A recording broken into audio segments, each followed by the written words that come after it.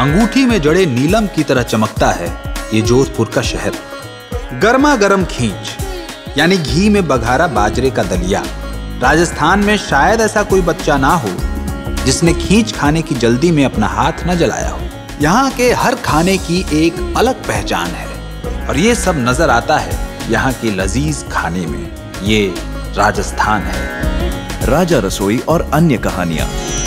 बुधवार रात 10 बजे।